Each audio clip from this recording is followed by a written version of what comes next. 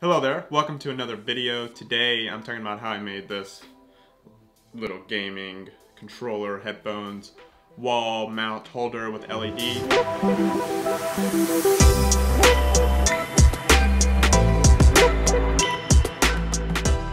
It was a pretty easy build and I did this for the Rockler Hobby Challenge, which hobby, as you can guess, is some gaming and, you know, mixed with woodworking. So I do a little bit of gaming on this Xbox. You see the monitor here. Um, and then, you know, controller and headphones. And I want to get into the PC gaming life, the real life, but I need some money for that. So right now, we just go with the Xbox. And for all you gaming nerds out there, Xbox controllers are better than PS3, PS4, PS5, PS12 controllers. Xbox has always been a better controller. So that's mainly why I like Xbox. And plus Halo the new Halo is gonna be sweet. So yeah, that's what I did for this build. Now for this Rockler Hobby Challenge, I wanted to build something simple, something I could, you know, prototype and potentially sell. Um, so I thought of this gaming board. Um, I took what Four Eyes had done for like a shelf, like a, what do they call it? I forgot what they call it the one that has like, you know, the clip on the back with the angle and you hang it on there and it sits on like a bracket on the wall. The Four Eyes Furniture guys had made a shelf uh, that's modular and I was to do the same thing for this build. Put my Xbox in it, put a controller, put a shelf for like some, you know, random game items and I just thought it would be kind of silly to do that because they already did it and they're part of this hobby challenge. And so I was like, let's just do something different.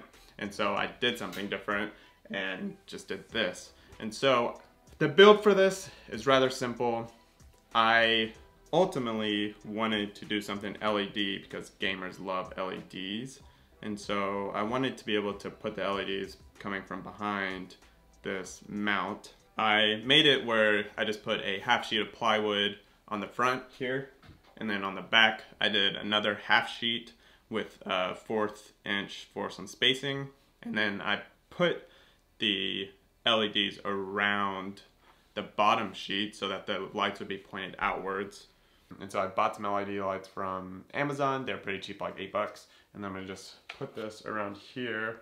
I've never used these actually before. So, a little bit hard to do this, but I want y'all to see some of it. This wood is a one half inch which fits this wire perfectly. And then it's like a 8 foot strand, something like that. 5 feet. It's pretty small. It's the smallest one I could find on Amazon because I knew I wasn't going to make it big. Hopefully y'all can see this pretty good. So I have a little bit more. Should I just keep wrapping it around? I think I might do that.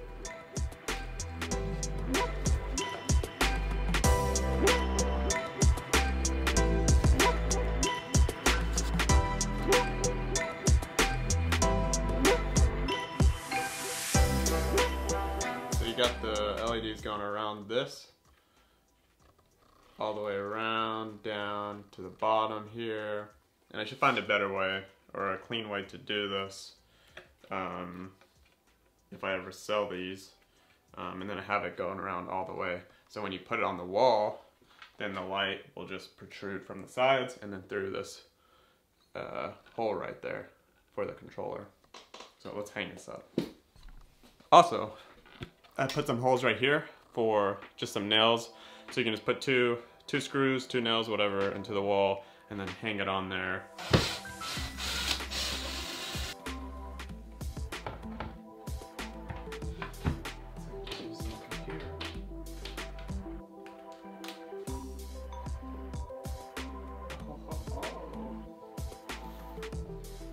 It's on, baby.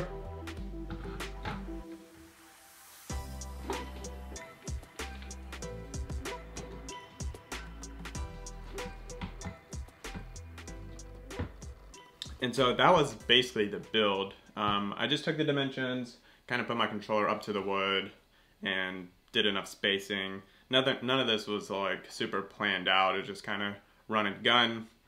I did want to have some LEDs shining on the controller and the headphones, but I could only find a good way for the controller. And as you can see, there's some lights that come off the bracket that are shining up and you can kind of see that here.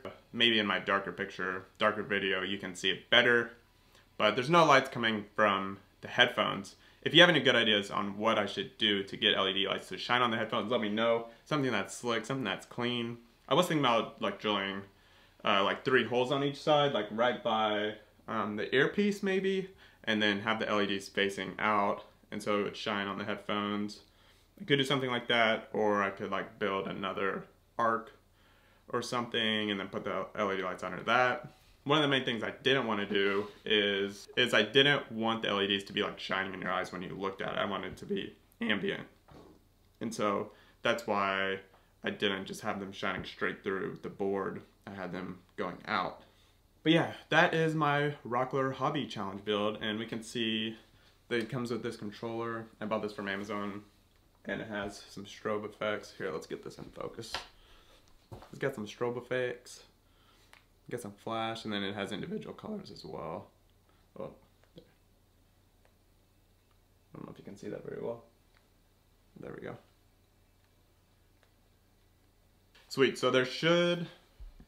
Alright, that's a little distracting. Let's just go to white. So that is about it of this build. I will be coming out with a version 2, but if you have any ideas on how to make this cleaner, cooler, let me know. Maybe I'll put like a plaque, you can put your name on it, or have multiple LED strips so we can do different colors at the same time, or like do half and half, or do like one color coming out of the board and one color going on the side of the board, something like that. But if you have any ideas, let me know in the comments. If you'd be interested in buying something like this, also let me know in the comments. And how much you would buy it for. Would you buy it for 50, 100? Let me know.